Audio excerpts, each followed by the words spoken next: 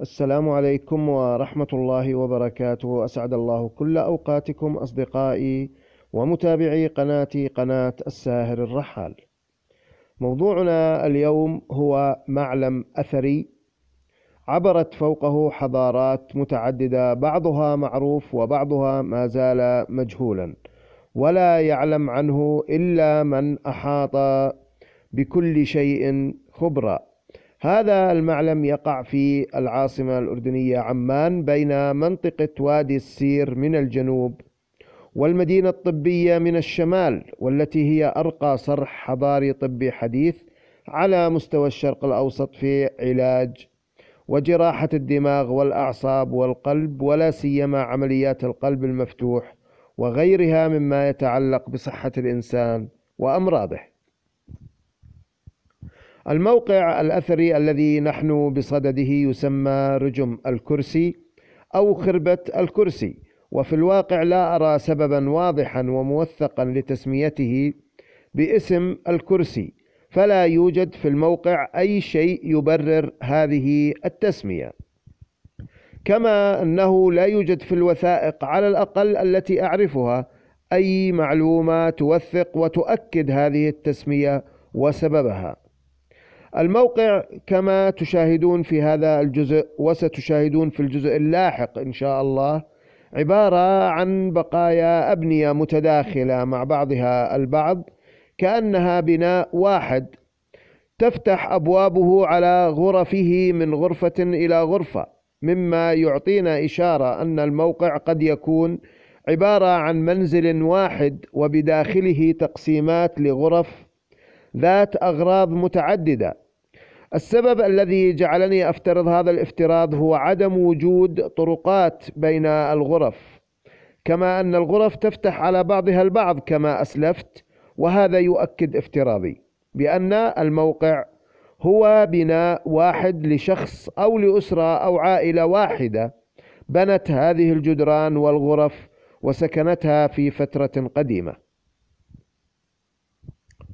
سمات هذه الجدران آه، والبناء بشكل عام أنه قوي ومتماسك بسبب اعتماد نظام قاعدة الزاوية العريضة. فكل الغرف بنيت على نمط واحد تقريبا وتشترك في نظام القاعدة التي تكون أبعادها متر ونصف في متر ونصف وتقع في الزوايا وتربط بين زوايا وجدران أربع آه، غرف وهذه السمة تعطي البناء قوة وتماسك. وقلما نجدها في الأبنية الأثرية القديمة المعروفة في بلادنا. وفي الحقيقة أنا فوجئت بهذا النمط ولم أتصادف به في أي بناء أثري قديم كالرومان أو حتى الحضارات الإسلامية على اختلاف فتراتها. وأعتقد بالفعل أن هذا البناء عائد إلى العمونيين حيث أن طبيعة أحجار البناء بشكل خاص تشير إلى صنعه عمونية. فالعمونيون كانوا يستخدمون الحجارة العشوائية في البناء في أغلب أبنيتهم بطريقة الخليط غير المتجانس حتى لو كان بشكل هندسي منتظم. فمثلا نجد في أبنية, أبنية العمونيين في البناء نفسه خليط من الحجارة الحثانية والصوانية والبازلتية والرخامية وأحيانا منحوتة وأحيانا غير منحوتة والأحجار المصنعة وغيرها. مما يخيل للناظر أن من بنى هذا البناء أو ذاك كان يأخذ أي حجارة يعثر عليها دون أن يهتم لنوعها وطبيعتها وتجانسها. الموقع ملفت للنظر لسمات متعددة ذكرت بعضها وسأذكر البعض الآخر لاحقا كما أنه جرت فيه عدة أعمال حفريات تدريبية لطلبة قيد التعليم في قسم الآثار في بعض الجامعات الأردنية. وتم العثور فيه على بقايا ومسكوكات بيزنطية وإسلامية وعمونية. من الملاحظ إخوتي الأحبة في هذا الموقع خلوه بشكل كامل تقريبا من وجود إشارات ورموز أثرية سواء دالة على كنوز أو حتى رموز تعود للاستخدامات اليومية. وهذا أيضا مما يعطي الموقع نقطة تميز أو اختلاف عن كل المواقع التاريخية التي نعرفها. وأرجح أنه موقع شعبي في ذلك الزمن أو ما نسميه في مصطلحاتنا الحالية بالعشوائيات أو منطقة مساكن شعبية ليست لأغنياء مؤكدي الغناء. فمساكن الأغنياء متقنة البناء مملسة الجدران وحجارة جدرانها بينها طينة يعني وضعت بنية حجر مع الطين وتحمل نقوش جميلة للزينة. وهذه الصفة لا نجد أيا منها هنا. هذا الموقع فيه ما فيه من الأسرار ما زالت دفينة تحت البقايا الظاهرة من جدرانه المتهالكة. وأنا أؤكد حقيقة أن هذا الموقع يحتاج إلى عمليات تنقيب رسمية دقيقة وحذرة. فجدرانه التي نراها أمامنا بنيت على جدران وحضارات تابع أخرى تابعة لحضارات سابقة. فلدى دراستي لبعض عينات الفخار التي جمعتها من الموقع. لاحظت أن الخليط الفخاري المجموع يعود لعدة حضارات فالبيزنطيون والفرس والعثمانيون والعمونيون.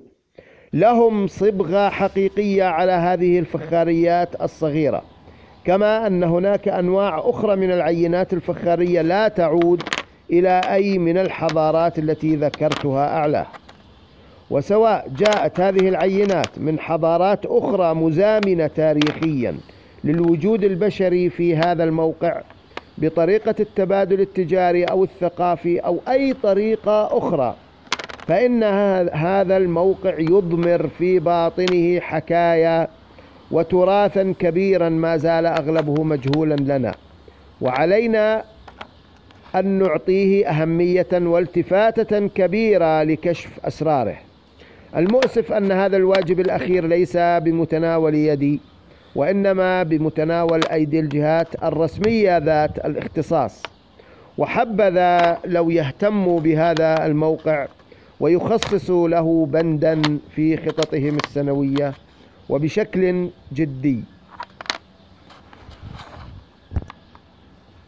القسم الثاني من هذا الموضوع إن شاء الله والحلقة القادمة سيكون فيها عرض لأيضا جزء آخر وفيديو آخر ميداني في الموقع أدق وأكثر شمولية. وكذلك سيتم التركيز على بعض المسميات مثل الزاوية المشتركة والقاعدة والحجارة المختلطة وغيرها. في نهاية هذا الموضوع المتواضع والبسيط والمثري إن شاء الله. لا تنسوني من صادق دعائكم بظهر الغيب. تحياتي لكم مني أنا الساهر الرحال.